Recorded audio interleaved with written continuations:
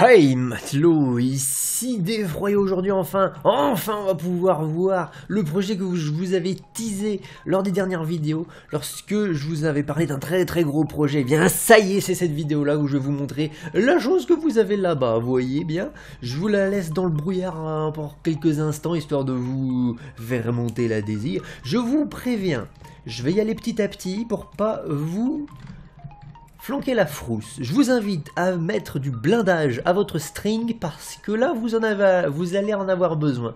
Attention les yeux, je m'approche petit à petit du monstre, de la bait, et petit à petit il va se découvrir à vos yeux, et bye, attention Alors attention les yeux, boum Boum, boum, boum Alors, je te fais le tour rapidement. On va prendre notre temps plutôt pour faire le tour de la maison. Attention, boum. La petite terrasse qui surplombe la rivière avec toute une charpente magnifique, on va dire, hein, n'est-ce pas? Voilà. Après tout, on aime se faire plaisir. Je vais te montrer ça d'un petit peu plus haut peut-être. Voilà, avec des lampadaires, avec une façade comme on les aime, voilà, voyez. Je vais regarder un peu la maison d'un peu plus haut. Voilà la taille du bousin. Et si je te dis que ça, c'est pas fini, que c'est pas fini parce qu'il existe autre chose. Il s'agit en fait d'une ferme, mais oui, et qui dit une ferme dit des champs, dit des champs et donc boum, voilà Voilà la tronche qu'ont les champs chez moi, mais oui Il s'agit donc de champs complètement customisés, voilà. L'idée c'est que j'ai fait un pixel art de rose, oui. Et les contours de cette rose, je les ai fait en canaux d'irrigation. Voilà, donc j'ai fait un grand lac au milieu, des canaux d'irrigation qui partent sur le côté là-bas, en forme évidemment courbée, euh, voyez, comme vous voyez ici, un hein, youp, pour faire de l'irrigation à des champs, parce qu'il s'agit effectivement d'une ferme. Regarde, je te montre de plus près. Il y a des moutons, il y a des cultures, des carottes, des, euh, des citrouilles, des vaches, des machins comme ça, du blé, de la canne à sucre plein au fond, il y a plein de fleurs, il y a des dénuphars, des poules à, plus savoir qu'en faire. Voilà, tout plein de cultures partout. Et non seulement il s'agit d'une ferme, mais en plus il s'agit d'une ferme en permaculture. Oui, carrément, oui. Si tu ne sais pas ce que c'est la ferme en permaculture, je t'invite à regarder sur Google ou sur YouTube parce que tu risques de découvrir quelque chose qui peut, vraiment créer des vocations chez certains. Oui, carrément, oui. Par exemple, l'idée de mettre une... Comment on appelle ça? Une forêt derrière, vous voyez les champs ici comme ça, pour euh, les entourer complètement, permet de protéger les champs des vents, par exemple. Comme ça, il y a beaucoup moins de vent à l'intérieur du champ, et ça permet de casser les vents, voilà. Ça permet de créer un microclimat à l'intérieur d'une petite parcelle. Oui, carrément, à ce point-là.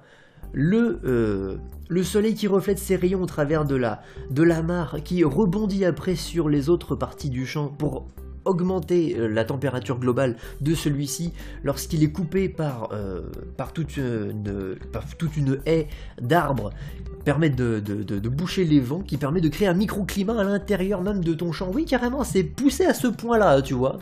Et je déconne pas en plus, c'est des trucs qui sont vraiment en recherche, en cours de recherche actuellement, et que j'ai adapté sur Minecraft, à ma sauce évidemment.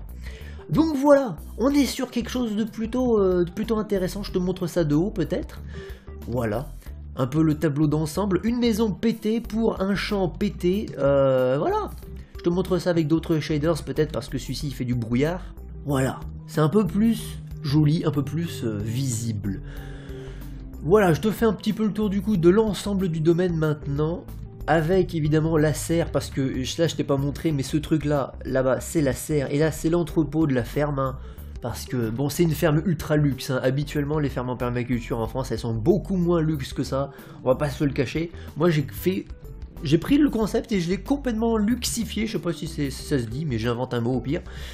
Donc voilà, hein, aménager évidemment la serre avec euh, des systèmes euh, d'irrigation, avec, euh, avec des fleurs, avec tout un tas de trucs. Alors ça c'est censé représenter des tomates, hein, vous voyez les, les fleurs comme ça. Voilà. Bref, sur ce, il y a tout un système de chemin aussi comme ça qui est complètement pensé aussi de manière à ce que ça ressemble à une fleur lorsqu'on le regarde de haut. Oui, carrément. Euh, voilà. te montre un peu ça de haut et puis euh, je te laisse t'extasier. Oh, comment que je... Je me la raconte, tu sais, mais en même je peux. Regarde ce que j'ai fait. Regarde ce que j'ai pondu un peu. Je peux. Oui, je peux m'escaser. Mais j'arrive pas à le dire. Voilà. Voilà, voilà, voilà. En fait, j'y suis allé tellement petit à petit ce truc-là. Enfin bref, du coup, je vais te montrer différents points de vue que j'aime bien. Youp, on va rentrer à l'intérieur de la maison. Alors voilà, par contre, c'est pas complètement fini. Je finirai la maison avec vous en live. Euh... Tiens, il n'y a pas de porte ici. Hop. Et... Alors, où est-ce qu'il faut que j'aille? Ah oui, alors du coup, là c'est l'entrée principale, déjà complètement vitrée, je vais te montrer ça. Boing. L'entrée principale complètement pétée, complètement vitrée avec euh, juste des poutres, complètement en diagonale. Voilà, complètement la classe. Ici à l'intérieur, bien évidemment, tu as un double escalier pour pouvoir monter au premier étage, évidemment, avec un arbre qui passe d'un étage à l'autre avec un puits de lumière au-dessus. Voilà. Alors, du premier étage, par exemple, on peut prendre la vue qu'il y a au niveau d'une fenêtre. Regarde la vue que tu as. Hein? Voilà. Je vais te montrer les différents points de vue, hein, regarde. Regarde. Évidemment, tous les arbres sont customisés ou presque, hein, sauf ceux qui sont sur la ferme. Mais ceux qui sont autour de la maison sont tous custom. Voilà. Est-ce que ça, c'est pas, honnêtement, de la vision, de la vision qui est travaillée? Hein? Voilà. Voilà, voilà, voilà. Bon, je vais arrêter de m'extasier complètement sur ma propre ferme sur ma propre maison et je vous reprends tout de suite en tutoriel pour commencer euh, la réalisation de cette espèce d'énorme truc. Il y aura trois parties à la vidéo. Cette première partie là qui va être vraiment les fondamentaux, les bases, euh, voilà. Et après il y aura une partie sur la maison spécifiquement et après il y aura une partie sur le jardin spécifiquement. Ok? Sur ce voilà, on se retrouve tout de suite pour la construction de cette espèce d'énorme truc. Ok, donc on va reprendre notre ville là où elle était, hein, et l'idée c'est qu'on va venir prendre déjà un euh, terrain, tout simplement, choisir un terrain. L'idée c'est que moi, bah voilà, dans ma ville, là où je suis en train de la construire, j'ai prolongé la route ici tout simplement, et j'avais commencé à terraformer un peu le terrain là-bas. Je me suis arrêté justement le temps de me dire que ça serait bien de vous montrer ça aussi, mais pour l'instant j'en suis arrivé à ce niveau-là, c'est-à-dire que j'avais une rivière, voilà, un terrain de chaque côté et puis c'est tout. J'ai aplati une partie du terrain et l'idée c'est que je vais faire le reste du terraforming avec vous évidemment. C'était, euh, j'ai aplati le terrain avant de faire la maison donc je pensais pas faire le tutoriel avant. Bref, du coup, ce qu'on va faire c'est que je vais vous demander de déjà choisir un terrain, le terrain que vous voulez. L'idée c'est de se mettre près d'une rivière, près d'un lac ou de la mer si vous voulez. L'idée c'est voilà d'avoir une terrasse qui soit surélevée par rapport au niveau de la flotte, vous voyez L'idée serait vraiment ça, vous voyez, vous avez la maison ici, une terrasse qui serait surélevée par rapport à la rivière et des pilotis pour avoir une, une, vie, une vue et une vision particulièrement euh, sympatoche. Donc l'idée voilà, on va apprendre environ... Alors la maison fait pile poil 100 blocs de long, donc l'idée c'est d'avoir avec de la marge environ 130 blocs de longueur à côté d'une rivière comme ça, pour être euh, plutôt bien. Et évidemment, il va falloir terraformer une partie. Alors moi, pour le coup, je vais vous montrer comment je terraforme. L'idée, c'est que je vais utiliser un mode qui s'appelle World Edit, mais vous pouvez bien évidemment faire ça à la main. Je vais vous montrer les différentes étapes, c'est pas bien compliqué. Hein. On va d'abord, sur toute cette zone-là, ok, enlever les arbres. L'idée après ça, c'est qu'on va aplatir la zone ici pour avoir la même hauteur que à ce niveau-là. Donc on va tout simplement enlever toute la partie du dessus qui a en trop. Voilà ce que ça donne. Et évidemment maintenant bah, on rebouge les trous pour mettre tout à la même hauteur. L'idée c'est de garder un minimum d'aspect naturel au niveau du terrain. Par exemple vous voyez ici là c'est tout, c'est plus bas on va dire que à ce niveau là. Donc on va reboucher cette partie là. Le truc c'est qu'il faut respecter un peu la limitation naturelle de la rivière pour que ça fasse quelque chose de naturel aussi quand même. Du moins c'est ça l'idée, hein, c'est ça le but évidemment, sur le côté du terrain, ici par exemple, là-bas et tout là-bas, il faudra retravailler ça à la main en partie pour que ça soit naturel, pour que le terrain qu'on est en train de, refaire euh, soit, comment dire, une transition naturelle vers le terrain qui lui est pas changé du tout. Vous voyez là c'est vraiment le terrain naturel de Minecraft. Là c'est le terrain qu'on est en train de transformer. L'idée c'est d'avoir une transition qui est qui fasse naturel, qui fasse en sorte que notre terrain lui paraisse naturel. C'est ça un peu l'idée. Voilà. Donc je vous montre un petit peu ce que ça donne. Et voilà ce que ça donne. Alors il faudra juste prendre en compte le fait que notre terrain et le reste du terrain de Minecraft géré naturellement bah, soit bien. C'est-à-dire que la reliure ne soit pas absolument directe. Hein, parce qu'avec World Edit on a vite fait de, faire des grands murs complètement moches. Et donc il faudra vraiment prendre soin de bien relier la terre ici, vous voyez, avec notre partie plate qui soit, euh, qui soit jolie. Là, vous voyez, donc c'est un dégradé petit à petit qui amène vers la partie plate. Ici c'est des falaises, bon là ça passe. Et voilà, il faut pas que ça soit moche comme truc, parce que sinon c'est pas terrible, voilà, sinon c'est pas beau. Voilà, euh, il faut pas que ça soit moche, sinon c'est pas beau, c'est la, phrase du jour. Alors du coup maintenant, l'idée c'est qu'on va placer notre maison. Moi j'ai ma rivière qui est ici, très bien. Et ce qu'on veut c'est de faire une maison qui a une terrasse qui donne sur le dessus de, de la rivière. Et donc l'idée c'est que pour faire ça, il faut déjà placer notre terrasse. Et donc il va falloir placer notre terrasse spécifiquement au-dessus de la rivière, parce que c'est là où on veut la mettre, voilà. Et donc l'idée c'est qu'on va construire la maison en fonction de comment est-ce qu'on veut placer la terrasse, ok? Donc là l'idée c'est que j'ai placé deux piliers qui vont être qui vont soutenir la terrasse qui sont déjà dans l'eau et donc on va les faire monter jusqu'à 3 blocs de hauteur et on va les espacer de 17 blocs. Ou plutôt on va les espacer de 15 blocs entre les piliers et avec les piliers ça fera 17 blocs au total de longueur ok?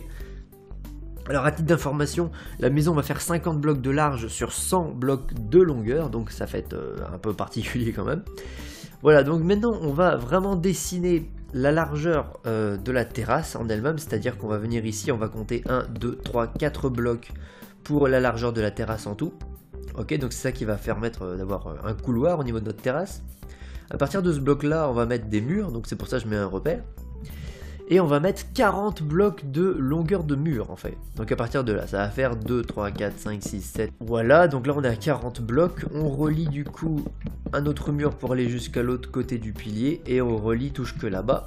Ok. Et donc on vient placer des blocs ici entre les deux histoire d'avoir un minimum de repères. On va placer aussi la forme de la terrasse. Comme ça on saura sur quel pied danser.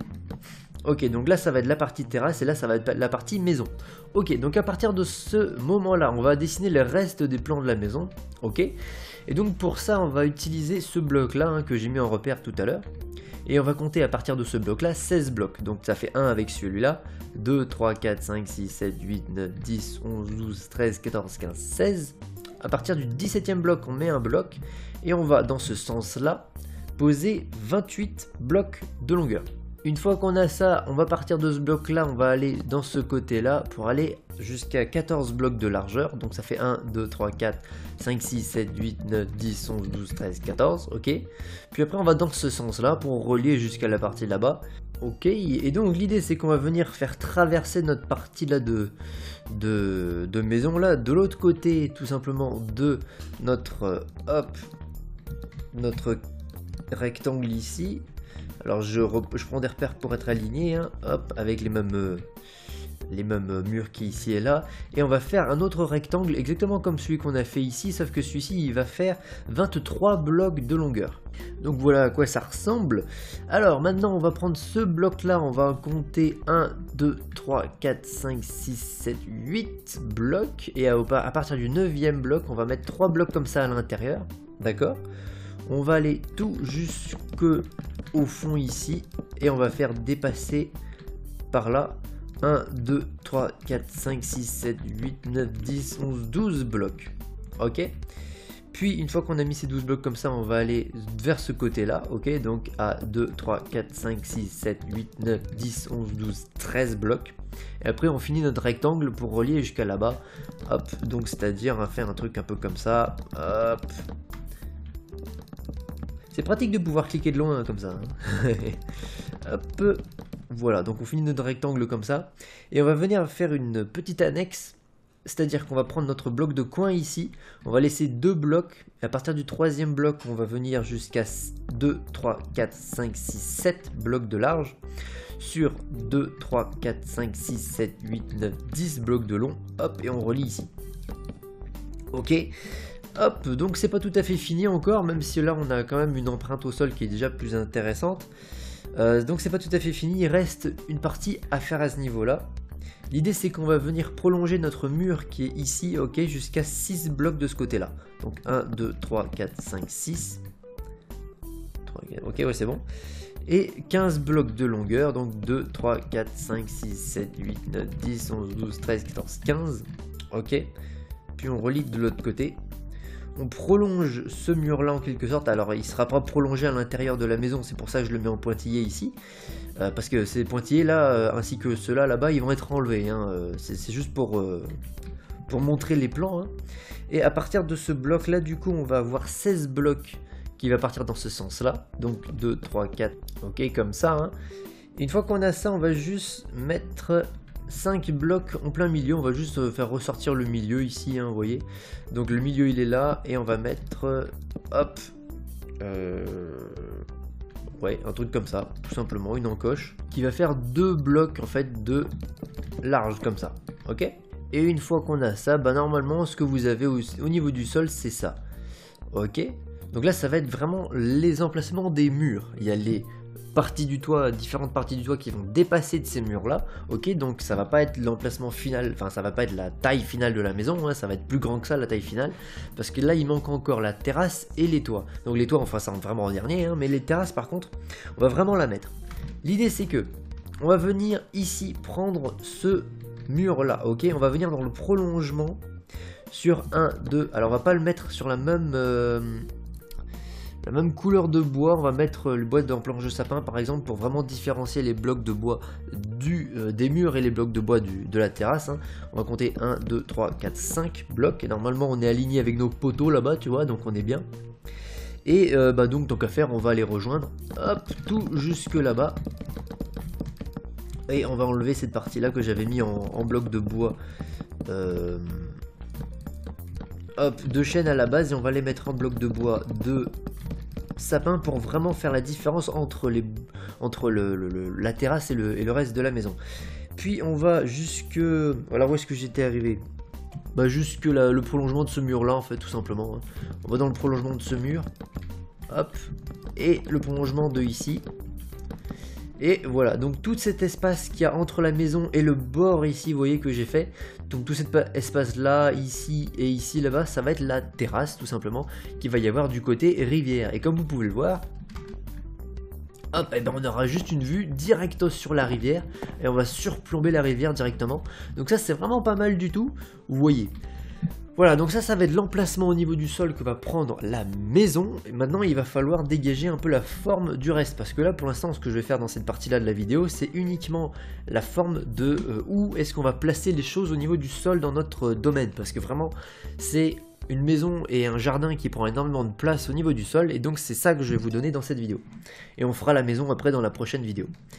Euh, enfin, complète, quoi. Alors du coup, devant la maison, du coup maintenant, on va faire autre chose. On va mettre une... Euh, comment on appelle ça? Une, euh, une place, en fait, comme vous pouvez le voir sur le modèle. Voilà, j'ai pris le monde du modèle et euh, donc voilà, c'est ça. C'est L'idée, c'est de faire cette place-là, vous voyez, qui va être sur le, sur le devant de la maison. Donc c'est ça qu'on va faire. Hein. On va vraiment faire coller, tu vois, les bords de la maison de chaque côté et entourer une place avec des demi-blocs de bois de chêne noir euh, et, voilà faire toute une place comme ça qui, euh, qui est collée plus ou moins à la forme du terrain. Vous voyez donc j'ai laissé le terrain plus ou moins tel quel je l'ai un peu euh, modifié pour faire un peu des formes de vagues comme ça et ça donne une forme de, de cour devant la maison qui est plutôt intéressante. Voilà donc c'est ça qu'on va faire et donc, on va prendre les blocs de chêne noir, hein, les trucs comme ça, et on va dessiner déjà la forme que va avoir notre terrain, enfin notre, notre partie en, Voilà, devant la maison, celle que je viens de te montrer. Donc, on va prolonger le mur ici tout simplement, vous voyez, hop, ici comme ça, pour avoir une, euh, une partie ici du jardin entre les différentes parties de la maison. Hop, on va faire un truc un peu comme ça. Hop, donc si j'essaye de pas trop faire n'importe quoi, on va aller jusque là à peu près. Donc à peu près jusqu'à la moitié de cette longueur là, hein, vous voyez, de la maison. Là on peut faire un peu ce qu'on veut, comme c'est quelque chose d'assez euh, voilà, d'assez large, on fait un peu ce qu'on veut. Hop, donc on va faire un truc comme ça, par exemple. Et là, on va faire une ouverture un peu comme ça aussi. L'idée, c'est de recoller après à cette partie-là euh, du terrain, sauf que le terrain, on va pouvoir le modifier aussi pour que ça ait des formes un peu rigolotes, un peu en forme de vague. Vous voyez Donc là, je l'ai pas fait encore, la modification du terrain, on va pouvoir le faire aussi. Hop, j'enlève toutes les herbes qu'il y a devant ici pour pouvoir poser les blocs tranquillou. Ok, et donc l'idée c'est de garder l'espèce de vague, enfin j'appelle ça une vague parce que vous voyez ça fait une forme un peu comme ça, euh, le terrain. Euh, naturel, c'est ça c'est une c'est le terrain naturel qui est comme ça et donc l'idée c'est de prolonger ça pour refaire une partie comme ça du terrain qui va revenir pour faire d'autres vagues. C'est un peu ça l'idée. Donc on va rajouter des blocs de terre ici un peu comme ça, tu vois, hop, hop, hop, par exemple, hein. hop, voilà, 3, 2, hop. Et euh, voilà, des choses un peu comme ça, on peut le refaire partir un peu. Comme ça, rajouter un petit peu.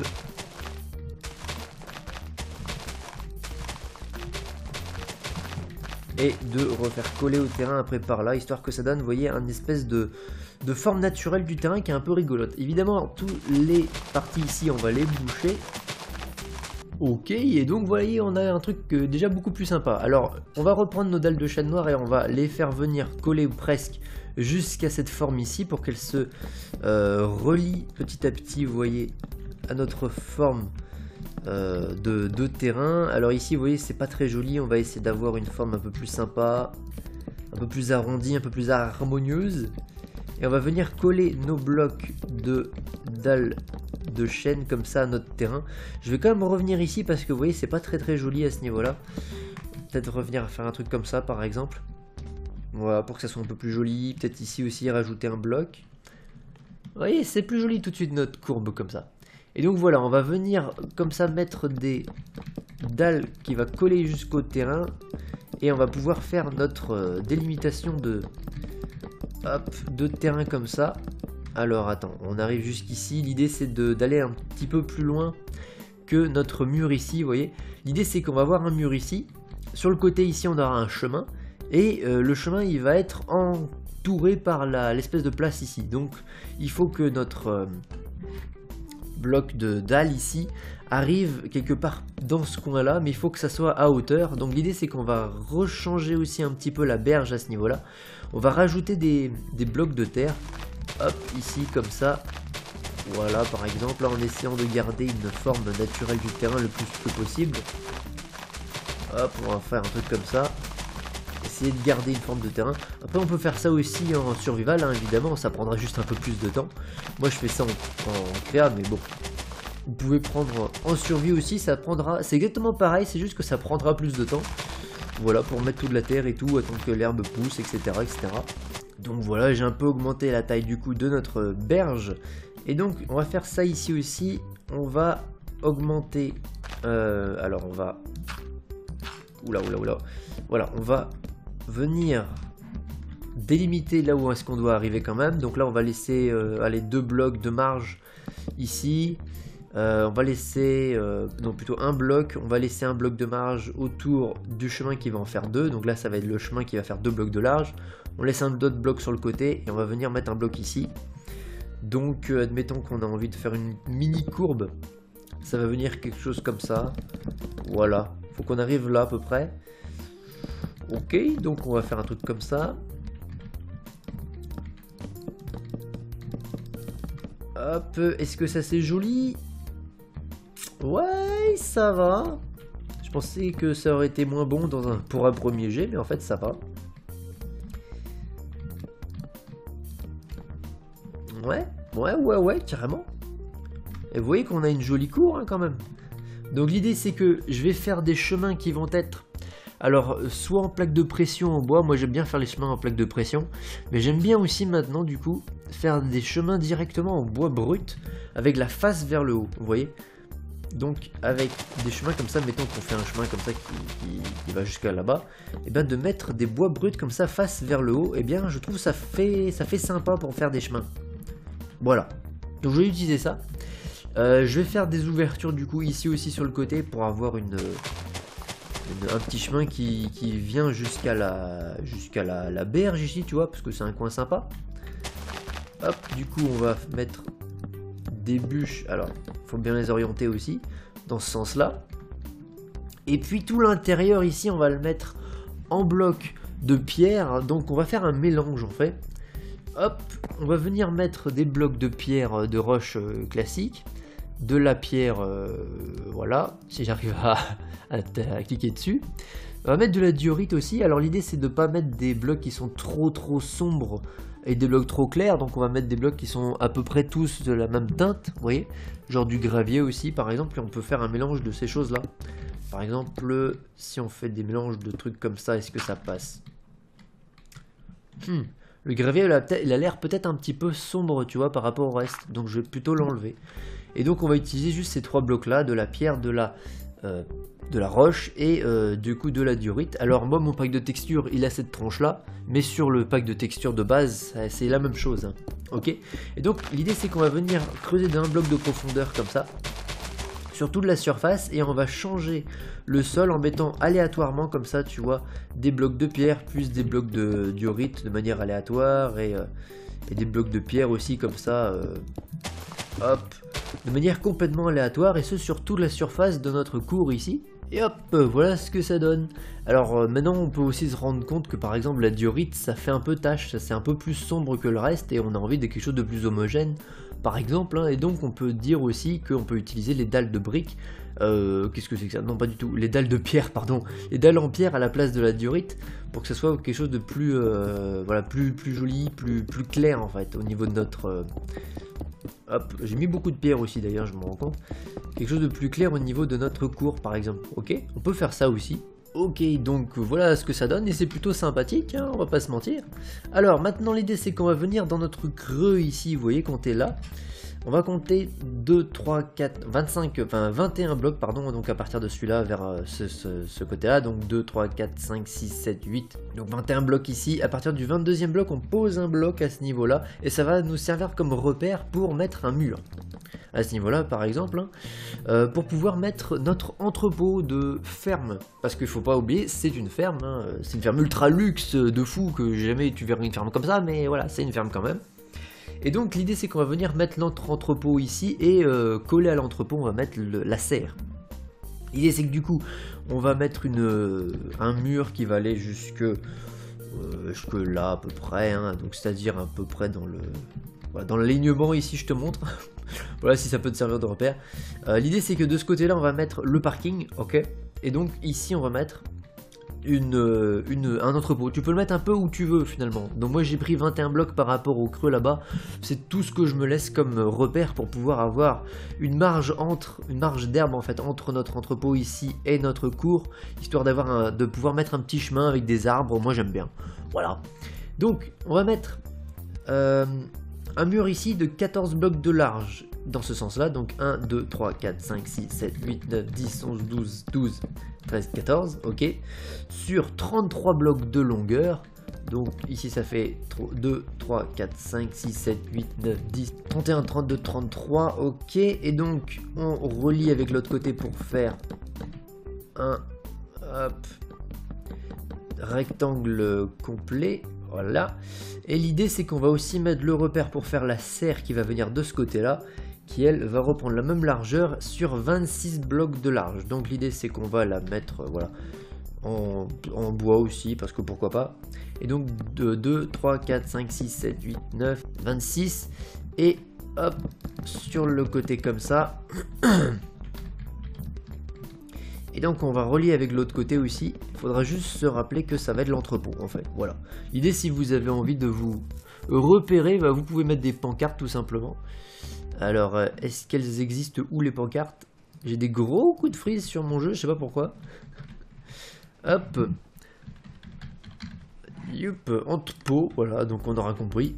Et la serre. Alors, comme vous pouvez le voir, il y a une partie de la serre qui se retrouve les pieds dans le vide.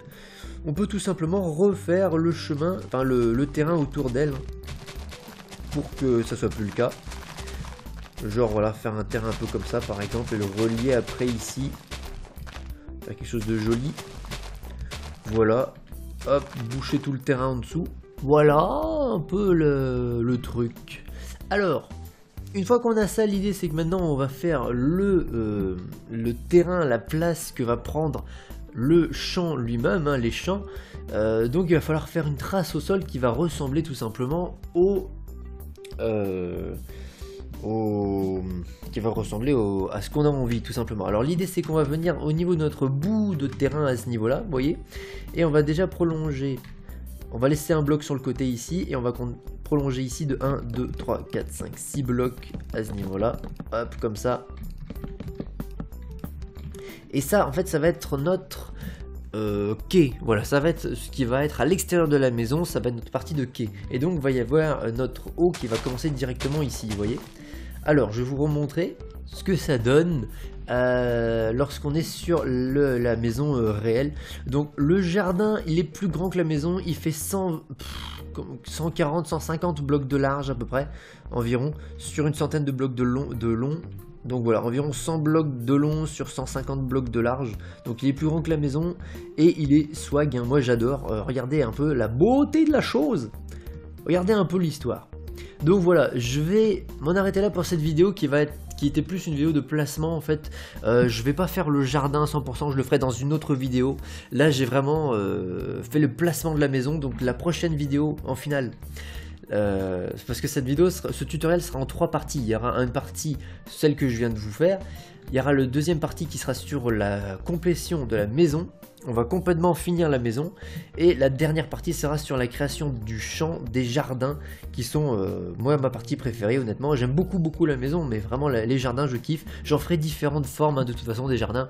Je ferai plein de formes de jardins, j'en ai déjà deux en tête qui sont très très swag donc je ferai ça aussi et donc euh, voilà on va se retrouver la prochaine fois. Moi je vous laisse vraiment sur cette vue oh, de ce de, ce, de cette ferme absolument euh, énorme Et je vais faire le tour petit à petit et je vais vous laisser juste euh, voilà, admirer euh, la chose. Parce que moi j'aime bien, j'adore. Ah, c'est un plaisir, rien que d'observer, tu vois. Rien que d'observer cette maison-là. Limite, je ferme ma gueule et je vous laisse avec la musique. Tu vois. Oh là là. ah, il y des coups de frise hein, quand même.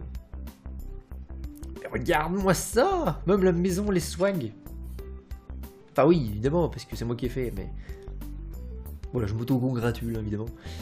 puis voilà, même le parking et tout. Ah voilà, bref, du coup, on se laisse ici. Si t'as envie de regarder les autres parties, bah hésite pas, je les ferai euh, directement les jours d'après. Hein. Je, je ferai les trois parties euh, une journée après l'autre directement. Sur ce, la prochaine fois, on va finir la maison complètement et le jardin, on le fera en dernière partie complètement, histoire de bien séparer les différentes choses. Sur ce, je te souhaite un très bon jeu, bon vent matelot et à la prochaine